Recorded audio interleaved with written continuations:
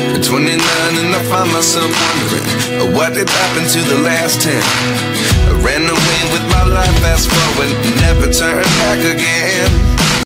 Kính chào quý vị và các bạn, quý vị và các bạn đang theo dõi kênh News 247. Tại đây chúng tôi liên tục cập nhật những thông tin thời sự mới nhất trong nước và quốc tế. Bây giờ xin được chuyển sang phần nội dung chi tiết của bản tin thời sự hôm nay. Sầu riêng Việt Nam đắt hàng ở Trung Quốc. Xuất khẩu chính ngạch từ năm ngoái, sầu riêng Việt Nam được thị trường Trung Quốc đón nhận mạnh mẽ với hàng chục container thu mua mỗi ngày. Bằng tường, cảng nhập khẩu sầu riêng lớn nhất Trung Quốc tại khu tự trị dân tộc Trang, Quảng Tây, từng xử lý sầu riêng nhập khẩu chủ yếu từ Thái Lan. Tuy nhiên, kể từ khi sầu riêng tươi của Việt Nam được tiếp cận chính thức thị trường Trung Quốc vào năm ngoái, cảng này tiếp nhận rất nhiều hàng từ Việt Nam. Tang San, Cục trưởng Hải quan Cảng Bằng Tường cho biết, thời gian gần đây, sầu riêng đang trái vụ nhưng mỗi ngày có hơn 30 container từ Việt Nam nhập khẩu qua cảng. Dữ liệu từ Hải quan Trung Quốc cho thấy 10 tháng đầu năm, xuất khẩu sầu riêng Việt Nam sang nước này đạt gần 1,94 tỷ đô, tăng 31 lần so với cùng kỳ năm ngoái.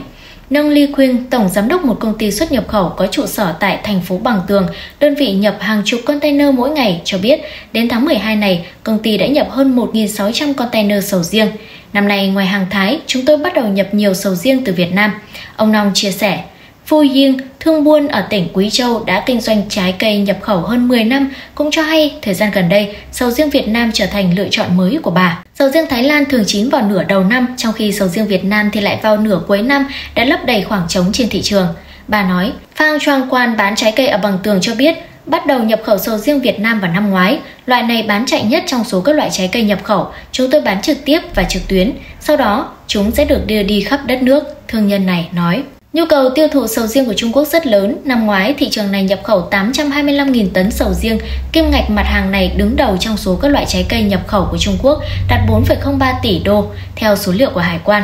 Năm 2022, sầu riêng Việt Nam với mùa thu hoạch dài và giá thấp hơn đã được tiếp cận thị trường Trung Quốc theo khuôn khổ đối tác kinh tế toàn diện khu vực. Nước này hiện là thị trường xuất khẩu sầu riêng chính của Việt Nam. Wang Yangbo, chủ tịch một công ty trái cây có trụ sở tại Quảng Tây cho hay, công ty ông năm ngoái đã ký hợp đồng với các trang trại Việt Nam có diện tích gần 3.000 hecta. Chúng tôi có kế hoạch nhập khẩu hơn 3.000 container, tương đương 60.000 tấn sầu riêng Việt Nam năm nay. Wang cho biết, Đồng Quang Hải, doanh nhân Việt Nam đã trồng sầu riêng hàng chục năm, cũng nhìn nhận sầu riêng là một trong những loại trái cây phổ biến nhất ở Trung Quốc, có nhu cầu tiêu dùng cao và tiềm năng thị trường rất lớn. Hiện nay, Bằng Tường trở thành cảng đất liền sầm uất và thuận tiện nhất cho việc trao đổi hàng hóa qua biên giới giữa Trung Quốc và Việt Nam. Đây cũng là cảng đất liền lớn nhất xuất khẩu trái cây của Việt Nam sang Trung Quốc với gần 300 xe tải vận chuyển sầu riêng, thanh long, mít và các loại trái cây cây khác làm thủ tục hải quan mỗi ngày lúc cao điểm. Dữ liệu từ Hải quan Nam Ninh Trung Quốc cho biết 10 tháng đầu năm, giá trị trái cây nhập khẩu từ Việt Nam qua cảng Bằng Tường là 11,71 tỷ nhân dân tệ, tăng gần 638%. Riêng giá trị nhập khẩu sầu riêng qua cảng này đạt 1,57 tỷ đô, tăng hơn 3.000% so với cùng kỳ năm trước. Ngoài bằng tường thì cảng Hà Khẩu ở tỉnh Vân Nam cũng đã trở thành cảng nhập khẩu sầu riêng nổi tiếng ở Trung Quốc. Yao Quy, nữ cảnh sát tại trạm kiểm tra biên giới xuất nhập cảnh Hà Khẩu, cho biết nhập khẩu sầu riêng tăng đáng kể đã thu hút nhiều người đến cảng, thành lập chi nhánh hoặc văn phòng tại quận nơi có cảng. Hiện nay trung bình mỗi ngày cảng có khoảng 700 lượt xe ra vào.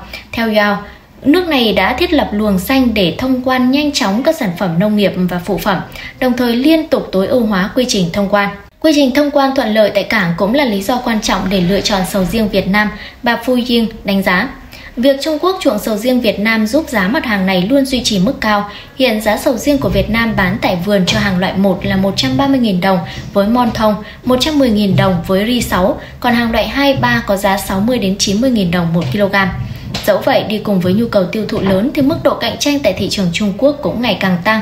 Sầu riêng Việt Nam có lợi thế về giá và thời gian vận chuyển, chỉ mất khoảng 2 ngày so với 7 ngày từ Thái Lan, nhưng các nhà cung cấp khác cũng có thế mạnh riêng. Thái Lan giữ ưu thế về sản lượng, là nhà cung cấp sầu riêng nhập khẩu chính cho Trung Quốc với khoảng 85% thị phần. Nước này đang chuyển sang vận chuyển bằng tàu cao tốc Lào-Trung Quốc để rút ngắn thời gian vận chuyển. Hiện tại thì sầu riêng Thái không cạnh tranh trực tiếp hoàn toàn với Việt Nam vì có mùa vụ lệch nhưng sầu riêng tươi Philippines thì lại khá tương đồng. Nước này đang cung cấp sầu riêng ra thị trường từ tháng 2 đến tháng 4 và từ tháng 8 đến tháng 10 hàng năm. Dù mới tham gia xuất khẩu sầu riêng tươi từ tháng 4 năm 2023, Philippines đặt mục tiêu xuất ít nhất 54.000 tấn sang Trung Quốc năm nay. Ở phân khúc cao cấp, Malaysia đã xuất khẩu múi sầu riêng đông lạnh sang Trung Quốc từ năm 2011.